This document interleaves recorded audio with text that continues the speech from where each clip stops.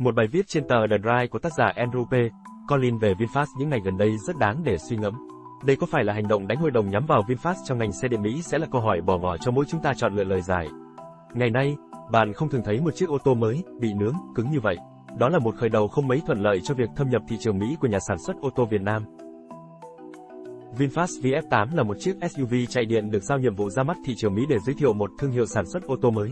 Một chiếc EV mới, có giá cạnh tranh với kiểu dáng thân xe tiện lợi nghe có vẻ khá hấp dẫn trên lý thuyết. Tuy nhiên, các bài đánh giá đầu tiên về VF8 đã giảm trong ngày hôm nay, và tờ giấy hấp dẫn đó đã rơi thẳng vào máy hủy tài liệu. VF8 nhìn chung tương tự như một chiếc Ford Mustang Mach với chỗ ngồi cho 5 người, khoang chứa đồ rộng rãi và giá cơ bản khoảng 50.000 đô la Mỹ. Chưa có ai ở The Drive lái thử VF8, nhưng tại thời điểm này, dường như không có lý do gì để làm như vậy. Một số bình luận lựa chọn từ khắp nơi trên Internet dưới đây củng cố cho quyết định này.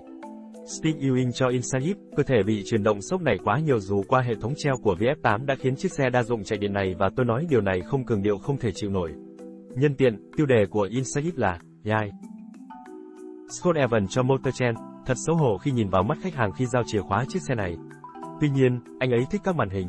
Mike Hogan cho Road và Trách, VinFast VF8 có khả năng kiểm soát thân xe tệ nhất trong số những chiếc xe hiện đại mà tôi từng lái. Trong hơn 90 phút lái xe, chiếc SUV nặng 5.600 cân Anh không ngừng nhấp nhô, lắc lư và lắc lư, tạo ra những chuyển động lắc đầu gần như liên tục. Anh ấy cũng bị ấn tượng tương tự bởi chất lượng chế tạo và UX của chiếc xe. Em hô cho Green Car Report, tôi không hiểu tại sao VinFast lại có ý định tung chiếc xe này ra thị trường.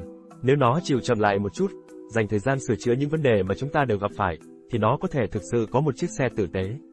Hiện tại, VF8 City Edition sẽ chẳng làm được gì ngoài việc mang lại tiếng xấu cho VinFast, một danh tiếng có thể mất hàng chục năm mới có thể lay chuyển được.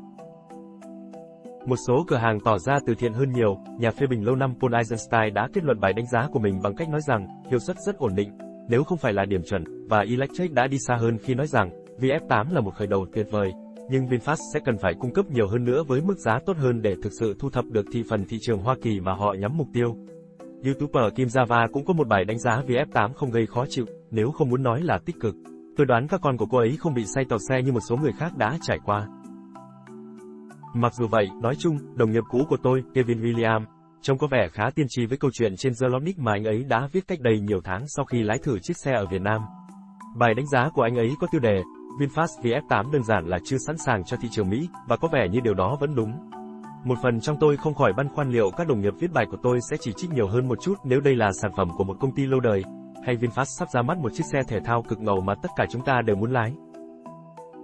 Nhưng ngay cả khi như vậy, thì cũng khá hiếm khi thấy một chiếc xe bị đánh giá sai lệch không phải bởi một hoặc hai người mà là của ít nhất bốn nhà đánh giá xe có uy tín khi phát hành ghi chú lần lái đầu tiên. Điều tệ hại là, điều này thậm chí không hiếm, tôi không nghĩ rằng tôi đã thấy điều đó xảy ra trong thập kỷ làm việc này của mình. Hầu hết các câu chuyện được liên kết ở trên đều kết thúc theo dòng, hy vọng VF9 sắp tới sẽ tốt hơn, nhưng đó là một khởi đầu không mấy suôn sẻ cho một thương hiệu hoàn toàn mới. Có thể kế hoạch của VinFast là bắt đầu với những kỳ vọng thấp để mọi người có thể nói về việc họ sẽ đi được bao xa trong 6 tháng. Trong khi đó, có vẻ như VF8 là một chiếc xe mà bạn có thể không cần phải dành nhiều thời gian để suy nghĩ. Nguồn: The Drive. Cảm ơn các bạn đã xem bản tin.